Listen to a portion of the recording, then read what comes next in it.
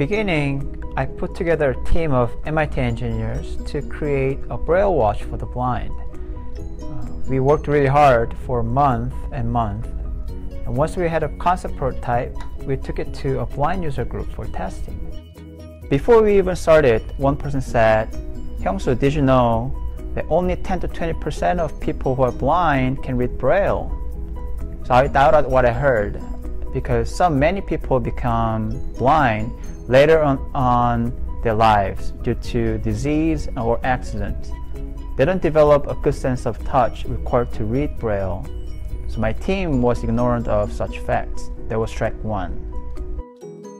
And after that, people kept asking questions like, how big is it? What is the material? What is the color? So this surprised me again and made me feel very embarrassed to realize that I wrongly assumed they would care mostly about the functionality and much less about the looks. Why did I assume a positive correlation between not being able to see and not wanting to look good? I was wrong, and that was strike two. And the last question people asked me was, is it specially designed only for the blind? And I said yes, and expected a positive response this time because we all like special limited design products. But they said, Hyungsu, you got it wrong again. That's not what we want. What we want is what everyone else also likes. The label designed for the blind. It draws attention to our disabilities and it separates us. It builds a wall between us and others. I never thought about that. So was strike three and we are out. So this time I invited people with all different backgrounds and abilities, disabilities. So product designers, engineers, architects, students, teachers, and people who are blind uh, to be a part of the design process. So the goal this time was to create something that looks beautiful, yet also functionally accessible to both people who are blind and people who are sighted. And that's why we are called Eone, which is short for everyone.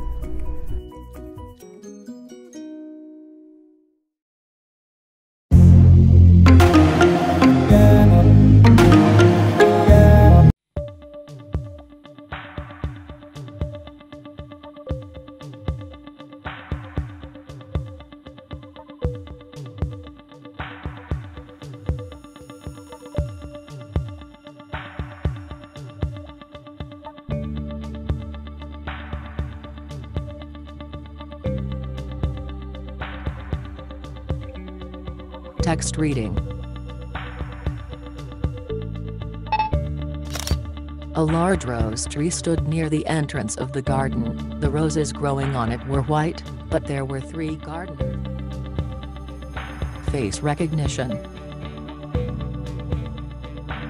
Jane. Money notes detection. $50.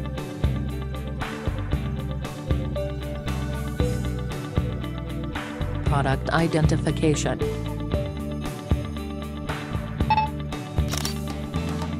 Oatmeal squares cinnamon. Barcode. Sausalito cookies, 7.2 ounce bag.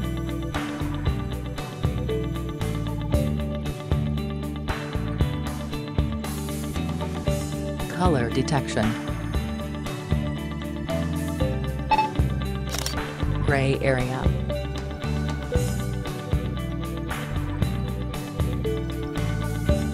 Telling time and date.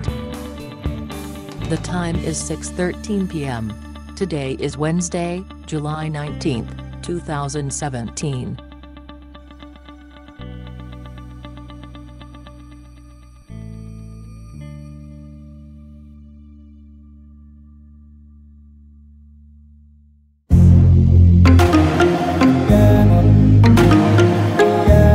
Mealtime brings people together It's more than a time for nourishing the body, we nourish our spirit and our relationships. But tremor, whether from essential tremor or Parkinson's disease, takes away from this experience, forcing people to focus instead on the basic task of eating.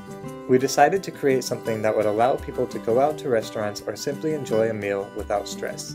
We invented the Liftware stabilizer to make it easier to eat with hand tremor and take the frustration out of eating. For the first time, we have the technology to actively stabilize a utensil in a device so small it fits in your hand. The Liftware device works by sensing a person's tremor and intelligently stabilizing itself to make the food's journey from the plate to the mouth much easier. Liftware is designed to be a part of your life. The device is small and portable, so that you can easily take it with you when you go out to eat. It's comfortable and effective because Liftware allows the hand to shake, while the cancellation technology in the handle stabilizes the spoon. In a clinical trial, we measure an average of 70% reduction in spoon tremor in individuals with essential tremor during three different eating-related tasks. It's easy to clean and holds a charge for several meals, so you can place it in the charging cradle whenever is convenient. We are proud to offer a product that allows people to take control of their tremor. When you eat with Liftware, your tremor retreats into the background of the meal so you can focus on the best parts of dining, the food you're eating and the people you're eating with. We can't wait to bring Liftware to your life.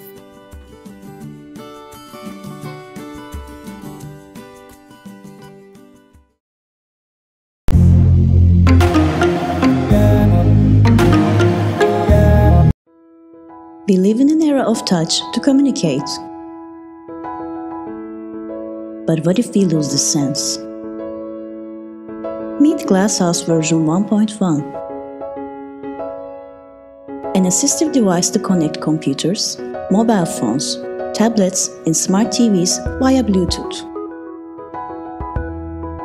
Worn as regular glasses, GlassOuse version 1.1 has a bite switch to do the clicking actions via simple bites. GlassOuse enables those who have limited movement abilities to use technology hands-free